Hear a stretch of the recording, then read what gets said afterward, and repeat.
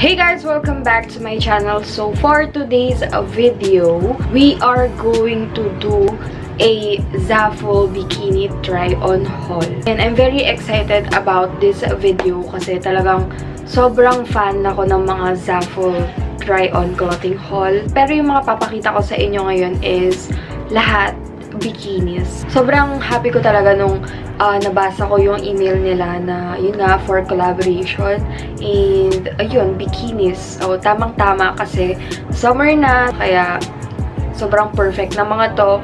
Ayan, hindi ko ma-put into words yung mga gusto kong sabihin kasi talagang grabe, ba? So, thank you so much po sa Zaful for sending all of these uh, bikinis. And ayun, kung hindi nyo pala alam yung Zaful, Zaful is online shop na maraming pwedeng bilhin. Like clothes, accessories, bikinis. Ito. Ayan, marami kayong makikita doon. Lalagay ko na lang lahat sa description box yung mga details nila and yung mga details nitong bikinis na ipapakita ko sa inyo. Ngayon lang ako gagawa ng video na ganito and medyo revealing siya, te. Kasi, yun, we're going to show off some skin. Charot. Pero, ayun, dead mo na lang doon kasi, di ba? Why not? Charot. So, yes, if you're interested, then please keep on watching. So, ito yung mga pinadala nila sa akin. Ayan, sobrang dami niya, guys. And hindi ko alam kung masusuot ko sila lahat. Pero, ayun. Uh, meron ako dito 10 na bikinis. 10 pairs ng bikinis. Ayan, pang, merong top and bottom, syempre. So, the first thing that I got is this. Ayan, color green siya na bando. Bando ang alam kong tawag dito. Ayan, bando top na ganyan lang. Pero ito, meron din siyang uh, mga strap na ganito. Kung ayaw nyo ng patube, pwede nyo siyang lagyan ng uh, strap. Ayan. Sobrang perfect nito for me kasi wala akong joga. Kaya mahuhulog-hulog siya. Kaya pwede kong ilagay ito. Ayan. So, ganyan lang siya, guys. Ganito yung mga usong swimwear ngayon, ba diba?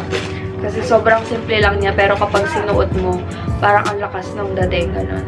Tapos, ganito naman yung bottom niya. Ayan. Nagustuhan ko tong uh, bottom na to kasi sakto talaga yung fit niya sa akin. Kaya nagustuhan ko siya. Ayan. Hindi siya masyadong revealing unlike yung mga ibang papakita ko sa inyo. Grabe. mag insert naman ako ng try-on dito. Kaya makikita nyo kung anong itsura niya sa akin. Charot.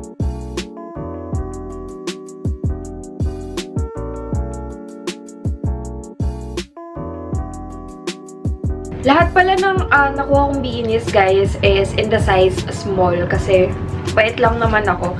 And, ayun, parang sa mga napapanood ko ring haul, halos small din yung kinukuha nila kasi parang masyado na atang malaki yung medium. Hindi ako sure, pero ayun, small na lang yung kinuha ko para sure. Okay, so next is uh, this. Ayan, parang bando top lang din siya, pero meron din ganito. Ayan, natatanggal pala siya, guys. Pwede siyang tanggalin, just like yung nauna kong binakita. Nagustuhan ko yung color niya kasi ang cute, ba? Ayan, parang rosy pink, ganun. Halos ganito yung mga kinuha ko, yung parang bando top lang, ganun. Kasi hindi ko kayang dalhin yung mga mga talagang super revealing ganun. Kasi wala naman akong yoga. And ito naman yung bottom niya. Ayan. Ito medyo, you know, manipis na yung ganito niya.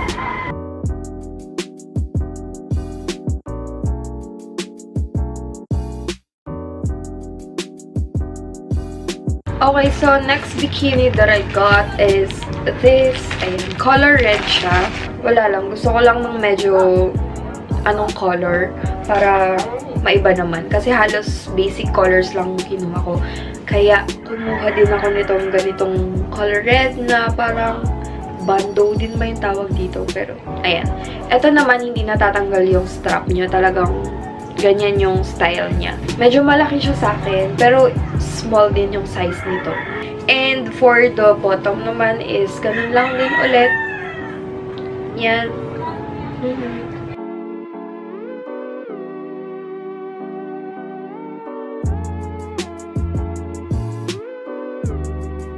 So next naman is ito guys. Ayan, parang same lang dun sa red. Pero ito, army green. Ayan. Medyo malaki din siya sa akin. Wala kasing size na extra small. Kaya, yung pinakamaliit is small. Kaya, kinuha ko sila lahat sa small. Tapos, yung bottom niya is ganito.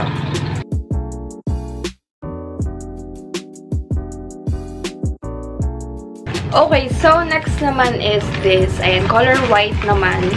Wala pa ba akong pinakita color white? Wala pa, no? Ganun lang din ulit. Nagagandahan ko kasi yung mga plain na ganito. Ayan. Pero ito, hindi natatanggal yung strap niya. Ganyan talaga siya. Tapos, yung bottom naman niya is uh, this. Ayan, sobrang... Woo! Ganun.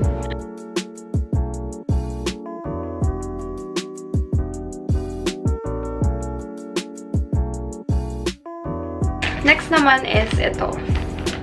And rose gold. Ito sobrang cute.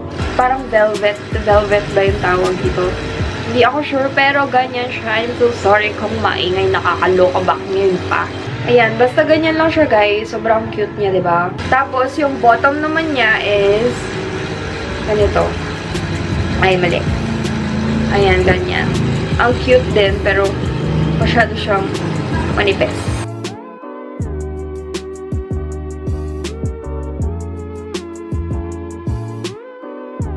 Next thing that I got is this. Color white ulit. Okay. So, kumuha, kumuha pala ako ng ganito. Ayan, yung parang pa one shoulder ba yung tawag dito. Medyo malaki siya sa akin, pero carry lang. Ganyan, yung, ganyan siya pag sinuot. Napansin ko lang dito sa top niya is wala siyang foam. So, siguro magdodoble ka pa dito or nipple tape, ganun. Tapos, ganito yung bottom niya. Ayan, parang carry lang yung bottom.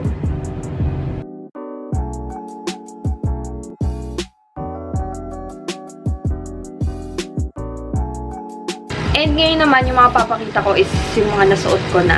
Kasi kung pina-follow niyo ako sa IG, ayan, nakita niyo na galing kami ng Zambales ni Chris Ann. So, ayun, kaya kami nag-Zambales is para lang mag-picture. So, ito yung mga sinuot namin kasi um, yung ibang package nun, hindi pa siya dumadating. So, apat lang yung dumating na package. Kaya yun lang yung nasuot and na-shoot ko. Unahin ko na tong bando top or tube top na yan. Siguro, nakita niyo yung post ko about dito. Ayan. Insert ko na lang yung picture na pinost ko sa IG. Ayan. Ganyan lang siya. Sobrang cute niya. Tapos, uh, tinurn ko siya sa short kasi, ayun, ang cute niya. Tapos, meron din siyang, ano, syempre, meron din siyang bottom, ito, color gray. Ang kaso, yung nasuot ko dito is yung color black. Kasi, hindi na, kami, hindi na ako makapagpalit ng bottom uh, dahil medyo malayo yung uh, tinutuluyan namin doon. Tinutuluyan? Pero nakatent. Nakatent lang kasi kami doon. Ayun, uh, hindi na ako nakapagpalit ng bottom kasi medyo malayo siya doon sa kung saan kami nag-picture-picture ni Chris. Kaya, ayun. Pero ang cute-cute niya, di ba?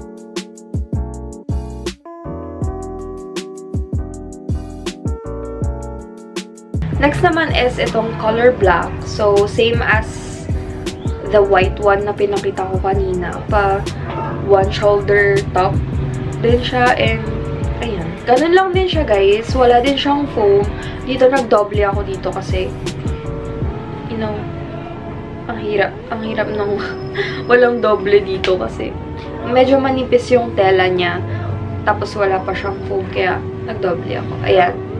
Pinost ko pala to sa IG. Ito lang yung bikini photo ko dun.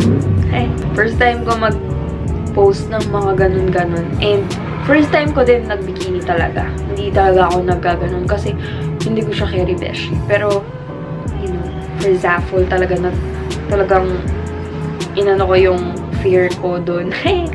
And ito naman yung bottom niya. Ito. So, ang comfy ng bottom na to. I swear.